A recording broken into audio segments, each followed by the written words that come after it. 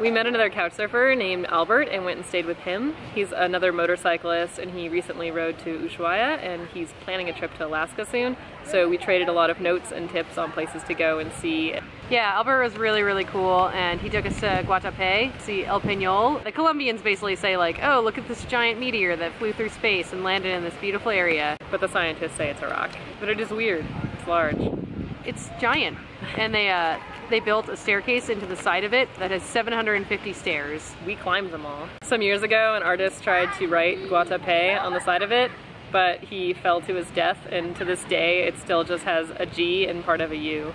The town of Guatapé is pretty incredible. The whole town got together and decided to give it a makeover, and everyone painted their houses with a lot of different colors and whatever plants or animals or symbols they thought Dragons. represented them.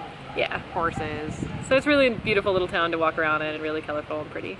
We met up with a really cool ADV rider named Ken. He took us out to have some delicious sushi in Parque Lleras. Yeah, Ken's really cool. He's planning uh, a trip through the Americas on his Harley that he's transforming into an enduro bike.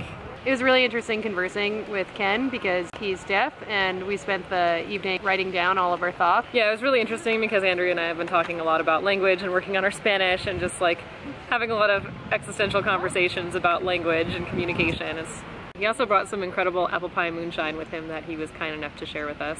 Delicious. Dude knows how to make moonshine. We spent a lot of time walking around Medellin and that meant we ate a lot of street food and we were also lucky enough to catch a little bit of the tango festival.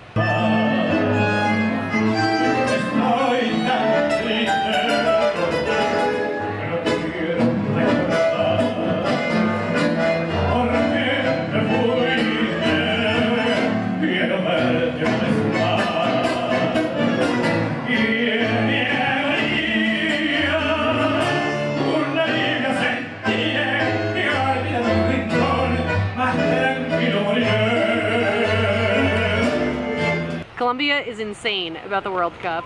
Everyone is wearing yellow shirts, like just everywhere. People on bikes, both people have a yellow shirt on. Dogs.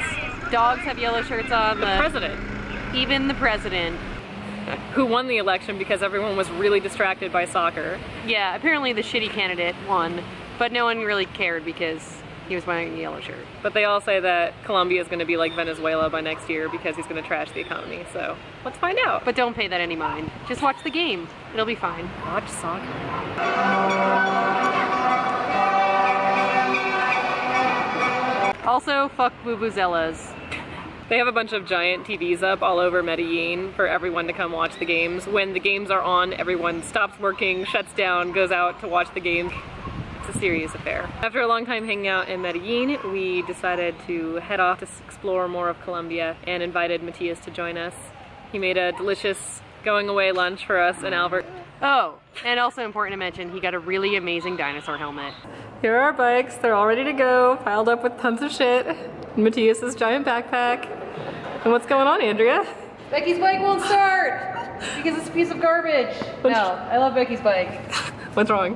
Uh, there's a part in here that we need to get to. We need to clean the pilot jet because we probably got bad gas and Becky's unlucky. And all of this shit needs to come off so we can take the seat off, so we can take the gas tank off, so then we can take the carburetor out and get to this one tiny part so we can fix it just go see Pablo Escobar's home.